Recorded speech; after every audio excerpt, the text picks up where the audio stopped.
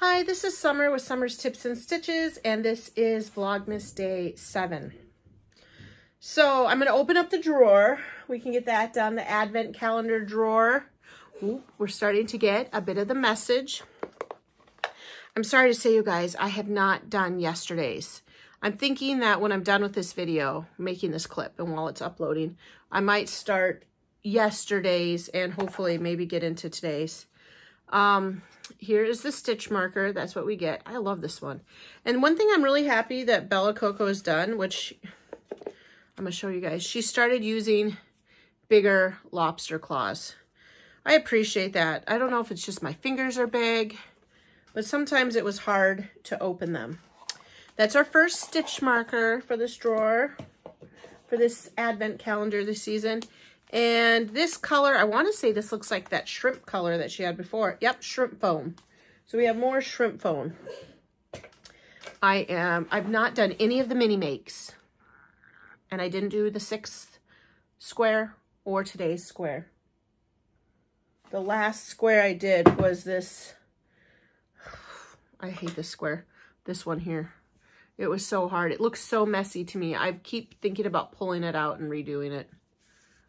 I'm not a fan of the I of pulling the yarn through like this. I'm not just a fan of that. I don't know. Am I fussy? But anyway. Uh, I've got to get these on the blocking board. And I got to do the last two. Plus, there was a little bit of mistake, some people said, in day six's square.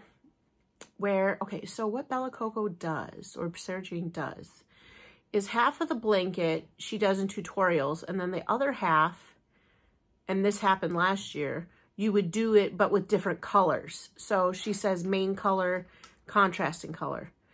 And so somehow she got a little mixed up and ended up, instead of saying, you know, do this with the main color, I guess she said contrasting colors. So the squares ended up, you followed the tutorial rather than reading the pattern there's some, I mean, it looks fine. To me, I barely can tell the difference. But I'm not really super good at reading. Some patterns are hard to read for me, the ones that use more abbreviation than words. And then especially since they're UK terms. It's not just switching double crochet to treble crochet. Sometimes they say, like we say front post double crochet, they don't call it a front post double crochet. Like they've changed a lot of their abbreviations they also say miss a stitch instead of skip a stitch.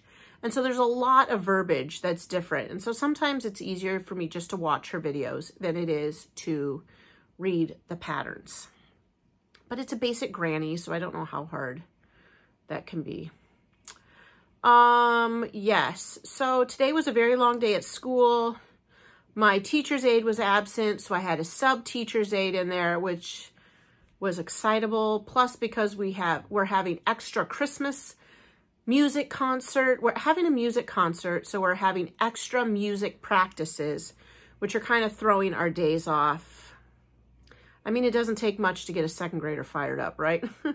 so I'm just was starting to feel a little sad today because I realized as I was sitting in my classroom, um, I have done nothing at my house for decorations. So then when I was taking the big kids to youth group, I decided I was going to take a little bit of a drive through the neighborhood and show you guys the Christmas lights. I love Oshkosh just happens, even for Halloween. Um, for Halloween and Christmas, they go full bore into decorating. So that's your next bit. The next bit of this video will just be me driving around the neighborhood and showing you some of the Christmas lights. It actually looks way better in real life than I think it was looking in the videos. Plus, every time I turned on my camera, it turned, because of the how dark it was, it turned on the spotlight. But I don't want to make that all the time for naught. So I'm sorry if you think it's terrible. but I wanted to show you the lights because I love the Christmas lights. Hopefully this weekend we'll go get our Christmas tree we'll get out some decorations and while I'm like putting out the nativity and the Christmas village and hanging the little things about, hopefully my husband will be putting the Christmas lights outside in the yard. Okay, let's see. I can't show you everything But I wanted to show you some of the houses in our neighborhood. They just go all out. So I'm gonna start and stop as I move down the street. Um, there's this one here. They have a bunch of trees. You can kind of see in the back too. This house just did a little bit, but this is mild.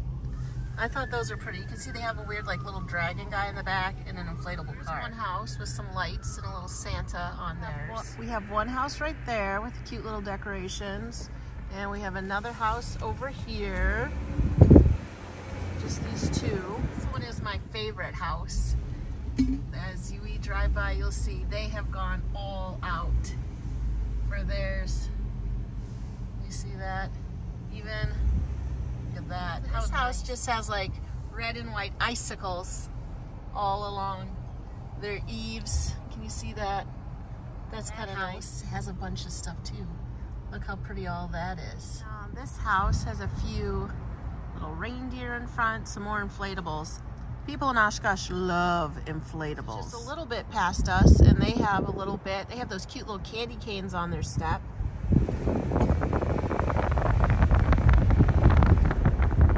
And then this house has some lights and some trees.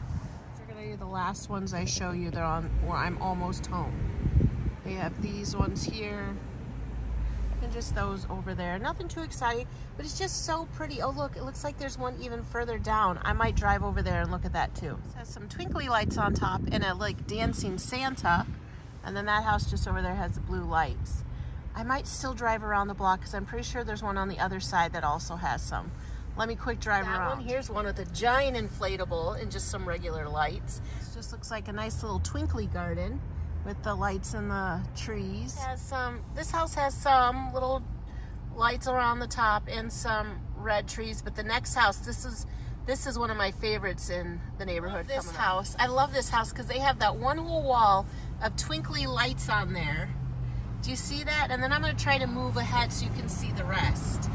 Then they have like a little um, starburst on their house, a manger scene, and then lights around the eaves and all their they have those icicle lights that are like dripping down a little bit and twinklies. I just love this house too. house that has some lights candy lights and then they have another giant inflatable snowman.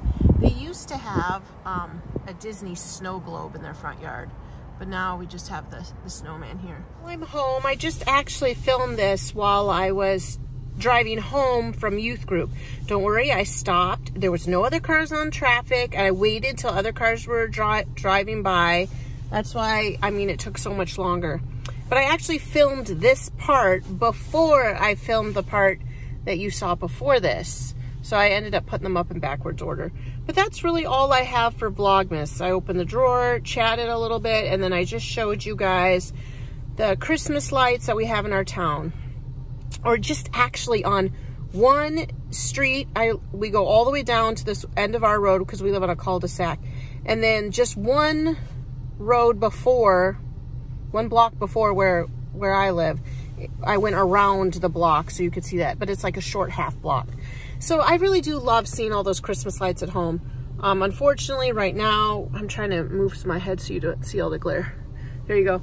Unfortunately, right now, we don't have any Christmas lights or any decorations in our house. Hopefully we can get it done this weekend. But anyway, that's it for Vlogmas Day 7. Um, thanks for liking and subscribing. Thanks for watching and sharing my videos. And until the next video, happy crafting. Bye.